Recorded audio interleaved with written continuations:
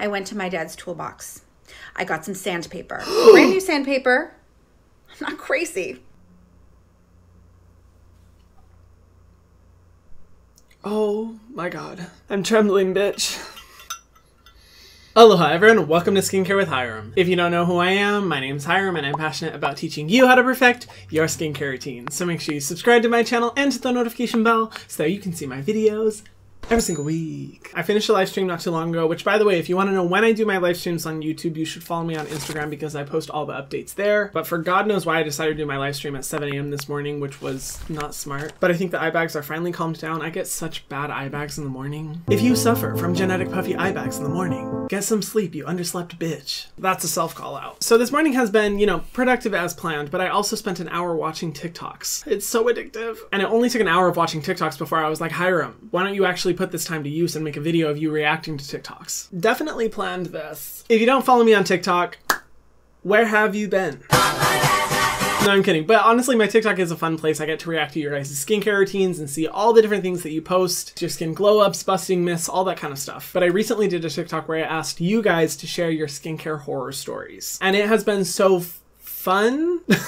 I don't know if that's the right word. Horrifying to see what you guys have done to your faces. My god, I only thought this skin could go through so much, and then I watched these videos, and it raised it up a whole 10 levels, bitch. I've been liking, commenting, and reacting to your skincare horror stories on TikTok, so if you do have one, you should totally go over to TikTok and make one for me to see or react to. But in this video, I figured why not make an entire video just reacting to a bunch of your stories, scarring myself for entertainment, and just do it all in one big swoop, because there have been thousands of videos that you guys have tagged me in, and I can only react to one at a time on TikTok. So this is the perfect time, and I've already seen some traumatizing shit using pumice stones on the face, using urine on the face. Yeah, urine. oh, that's my nervous laugh. I'm just gonna randomly react to these videos and hopefully survive. We'll see, stay tuned. So let's get into it. Okay, just a quick mental meditation before I embark on this journey that's about to scar me.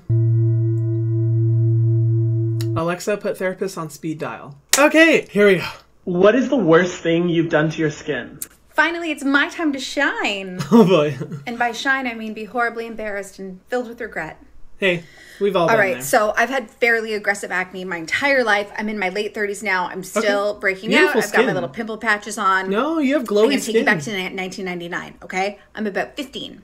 Okay. And I'd heard that exfoliation and cell turnover is going to help with acne. That's always but the tricky not one. an average exfoliation for me. Okay, I wanted to go hardcore. So what did I do? I went to my dad's toolbox. I got some sandpaper, brand new sandpaper. I'm not crazy. I then proceeded to sand my acne off. I'm bleeding at this point, okay? My face oh resembles Oh raw hamburger meat. And I finish it off with a sweep of isopropyl rubbing alcohol all over. My face is on fire. Oh I'm my still God. dealing with the scars. What is the worst thing you've done to your skin?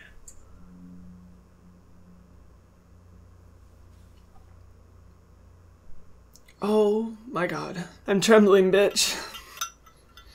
How did it get bad so fast? Sandpaper? You know that sandpaper is literally made of what is it called? Fiberglass? Yeah, fiberglass. Have you guys ever gotten fiberglass in your skin? It is horrific. When I was young and I worked on a project and I did a lot of roofing projects where I would put the shingles on. And one time I was so smart and decided to not use gloves because that's what an intelligent person does. Fiberglass all over my hands. I couldn't even hold a pencil for a week. I had to put lotion all over them. I sat in class like and it stung and it burned so badly. And that's not even talking about just like the fact that you were bleeding after rubbing sandpaper and then to top off the shit that is this skincare routine. Rubbing alcohol? I don't know if I'm emotionally equipped to handle this. This is a bit too much. Oh my god, sandpaper. Sandpaper. Oh, hi, Oreo. Hello. Oh, good morning. Oh, good morning. Hello. Say hello. She's living for her moment of fame. Oh my gosh. Hi. She always gets so excited to see me every morning and it's precious. Honestly, that was perfect timing. I needed a little bit of a dog break to handle all of that. Wow, okay, you guys just keep setting the bar higher for the worst things I have ever seen. Um, so skincare tip, a lot of people might not know this. If you're using a skincare hack that makes your skin bleed aggressively, might not be a good thing. I know, it's kind of hard to believe, took me by surprise. You are so pretty and your skin is beautiful. I don't really think bleeding is your aesthetic. Would not recommend. Why am I out of breath? Honestly, I don't really have any skincare tips to give beyond don't do that, please. For my sake, if you ever even consider doing that, just picture my face, my reaction. I will come and haunt you, bitch. Don't do it. Okay, this might be a little bit harder than I thought. Let's hope this one will be better. Thing you've done to your skin. kind of embarrassed to share this, but I love your hair. you know that apricot scrub thingy Yes. from St. Ives, right? Yeah. I use that, but not only did I use it, I used it every single day Wow. for like a good month. yeah, yeah. My skin was horrible Oh, I'm sorry. now, but it, it, it was so horrible. My skin was so damaged. I mean, I wouldn't be able to tell now. Your skin looks great. You are not alone. There are so many people who use that every day. I remember one time having a client talked about how he loved using the St. Ives scrub twice a day, and he had broken capillaries all over his skin. Not that I'm saying that it necessarily caused those, but it's sure as hell not going to help him. And unfortunately, there are so many people who actually do the exact same thing, who use it every single day because they think exfoliation is necessary or they just like how their skin feels after using it every single day. It's not totally uncommon, so you're not alone. I sadly have heard this before. Your skin looks great now, so I'm happy it hasn't damaged it too, too severely, but I'm sorry. At least you know now. It on my page. So after scrubbing my face with Neutrogena's pink grapefruit scrub, I would dip the lemon in the salt and scrub it on my face. After? Wait, so you not only used the pink grapefruit scrub, which mm, you used salt and lemon? Uh, salt isn't as bad as sandpaper, so good job on that one, I guess. now that the bar is there. Um, but yeah, salt is not great for the face as a scrub, and combining it with lemon. I mean, if you guys have seen any of my videos talking about lemon, I just don't know why people are so insistent about using lemon on their face. I get it, they say it's exfoliating, but there are so many better exfoliants out there that won't cause the sensitivity, irritation, and excessive sun damage that lemon will. Just that level of acidity on the face, paired with the damaging aspects of using a salt to scrub your face, that was rough. I'm so glad you don't do that anymore. I mean, if there's one happy thing I can say from watching all these videos, it's knowing that people don't do this stuff to their skin anymore. And that is improvement. And we celebrate improvement. I mean, hell, in my video, I shared my skincare horror story, which is not my proudest moment. We're just gonna pretend like that didn't happen. But wow, girl, I am so sorry. That is, that's rough. it is rough because it's a scrub. Those are the best jokes I've got, accidental puns. Why is it that my puns are always accidental? I'll say one and then everyone's like, ah ha ha ha, and I look at them like, oh, and then I realize. As I'm looking through these TikToks, I do want to say, guys, if you want me to react to them, make sure you have the duet feature turned on because otherwise I'm not going to be able to react to your story that you're sharing or feature them in a YouTube video. So just make sure you have the duet feature turned on because I cannot tell you how many hundreds of videos I've come across that I've wanted to react to and I can't because duet isn't turned on. So make sure you have that feature on. Oh, I've done so pretty. Wow. many, many Your bad eyes. things to my skin, but this has to be the worst one of all. Okay. I would use Ugh. pure isopropyl alcohol on my face as a toner twice a day. I Twice wouldn't use day. moisturizer, and I didn't wear sunscreen. I would also Oh, mix the isopropyl alcohol with the Aztec clay healing mask, and I would keep it on for way more than I was supposed to, like oh. 30 Oh God, minutes, girl. and I would use it about every other day. Oh my god. My skin was irritated, red, itchy, burning. It was just not happy, but I thought that meant it was working, so I kept doing it.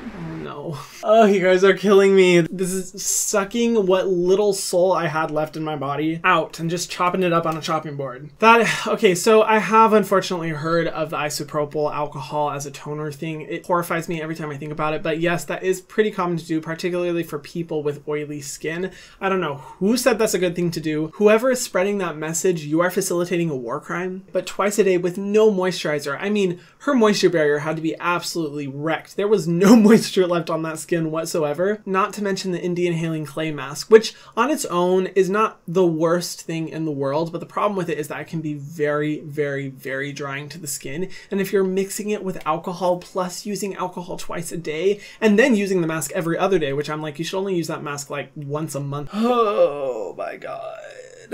You know, I just laughed through the pain. I'm so sorry. If there's just one thing I can say to every single person on this video is that I am sorry. You are loved. You can change and you can move on from the past. It's okay. So I won't cancel you guys for any of this. But you know, the trend I'm seeing is that a lot of people did these things when they were teenagers. And how fucking cool is it that now so many teenagers have access to amazing creators talking about skincare online, people spreading the message of skincare, non-sensitizing and non-irritating products. Seeing these just makes me so happy remembering that because the amount of like 10 year olds and 11 year olds who come up to me in public and start talking to me about niacinamide and salicylic acid, it just, it warms my heart. And I hope for a day where these skin horror stories will not be a thing because these are just brutal. So, my skin used to look like this. oh, okay. So, one of my family friends told me that she cleared her acne when she was a teenager by using a cream that was meant for like ingrown hairs, mm-hmm. mixing it with shampoo to dilute it. And then so Tried it because, you know, she had clear skin. And anyway, Oh my god. went downhill from there. 10 out I'm so sorry. Well, your skin looks awesome. It looks like you're doing an amazing job now, so good job. Shampoo to dilute it? You know, maybe this is the hill for me to die on, but I will stand by this statement. The majority of horrifying skincare recommendations that I've seen have come from people who already have genetically good skin. People who have relatively good skin already and don't have to worry about increased sensitivity. And the problem is that people who are struggling with, you know, acne or breakouts or whatever it may be are desperate and will try anything to get good skin. They follow these methods and their skin just gets worse. I don't know why it's so hard of a concept for people to realize that if the product isn't formulated to be used on your face, you probably shouldn't use it. I mean, as far as the ingrown hair treatment, it just really depends on exactly what it is. Like, I'd have to look at the ingredients because some of them can be good and like gentle and effective. I probably wouldn't recommend it as an all over face cream if that's what he was doing. But mixing it with a shampoo, which has cleansing agents, and leaving it on your face is brutal because that means your moisture barrier is always going to be devoid of any moisture. And in order to help heal your acne and your breakouts, you need to make sure that your moisture barrier is taken care of, that your skin is properly moisturized and hydrated, so that you don't consider to see breaks in the skin. Man, that's bad advice. I apologize, but your skin looks great now. Good job. Oh, I need some eye drops. The stress is making my eyes red. Uno momento. Okay, can we handle more? Oh my god, Laura duetted this. Oh, I am so excited to see this. She does horrific stuff to her skin, but she's so dang funny. I'm nervous for this because I have seen her do some crazy shit to her skin, so I know this is about to be bad. okay. Ladies and gentlemen, it is my time to shine. no, I know y'all are probably thinking, oh, Laura, you know, Laura, it's probably that Elmer's glue you put on your face. You know, when you stick stuff all over it, or all Yes. the face masks that you do, or, you know, yada, yada, yada, because I do all kinds of stuff to my skin, right? And it's not good. These aren't good things. However, the worst thing that I've ever done to my skin is that I will incessantly pick it apart for hours in the mirror just to remove any no, blemishes, right? Like if I see anything under my skin at all, it does not matter if I'm bleeding, if I'm ripping apart my skin, nothing. I have to remove it. I have to. I'm literally covered in scars on my chest, on my arms, on my stomach, and on my face, and on my back because I have dermatillomania, and I can't stop picking. Um, it's actually a mental illness associated Yeah. with like an extreme form of OCD. I see a dermatologist now to help reduce some of the Oh, scarring. good, I good, should good. probably go see a therapist. Oh. but yeah, uh, nothing I've ever done to my skin has been worse than that.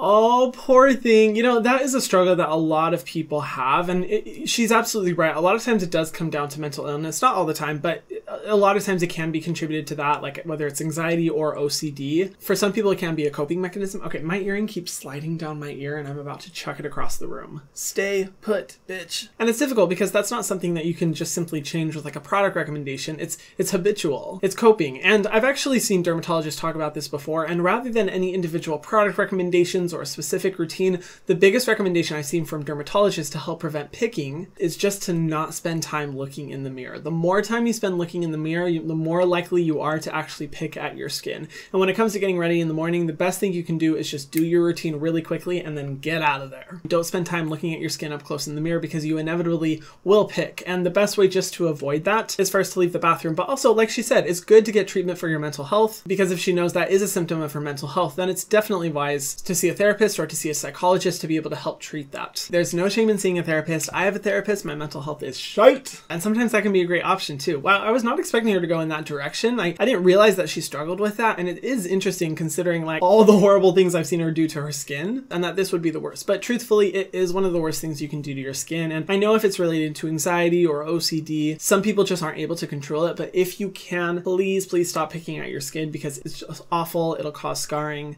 It's not a great thing to do. So I can safely say that I've won this debate. can I just add that this was like years ago, way before I was educated on skincare, sun Okay. damage, anything like that. And oh my god, please Sun do not do this oh, because Oh, you will get burnt. I remember I was looking up hacks one day for like skincare and stuff, and I saw that if you use Listerine, that it really helps spots. So I used to put Listerine all over my face as a toner, Oh my gosh. then put on baby oil, and then go out in the sun. I was doing this for a good month as well, so Oh when I'm about 50 years old, I will be looking shriveled as fuck. And thank God you don't look shriveled as fuck. You look great, but man, I feel like maybe I have heard that before. Listerine. I mean, I get it. There's the appeal of the alcohol in it, or if it's an alcohol-free formula, whatever. It'll help to reduce the actual sebum on your skin because it dries the fuck out of your skin. But to go into the sun right after, that's that's basically stripping your skin of all of its moisture and then going out and doing the most damaging thing to it you can. Yeah, that's bad. I'm sorry, babe. That's rough. I'm surprised I'm still standing. I feel like I need to go outside and get some zen after that. Take a chill pill, smoke a blunt. no, I'm kidding. I don't I don't smoke. It just gives me anxiety. That would not work. Uh that was stressful. and that first one, I, I swear, that was the worst. That that was awful. It is burned into my mind. I can't get that out of my head. I don't think I ever will be able to. And every time I see a toolbox in the future, I'm gonna be like, I see you, you see me, we see each other. And I'm gonna slowly back the fuck away. That was intense. Um, let me know what you guys thought of this. If you were also as horrified as me, please let me know in the comment section down below. And make sure you go on TikTok and share your skincare horror story and make sure that I can duet it because I'm happy to do another video like this. I think it would be so much fun. I feel like these stories will just never stop and they continually get worse, so why not? I've already lost this much, what's a little more? And yeah, if you guys haven't already, be sure to subscribe to my channel and to the notification bell so that you can see my videos every single week. And I'll see you guys the next one. Mwah.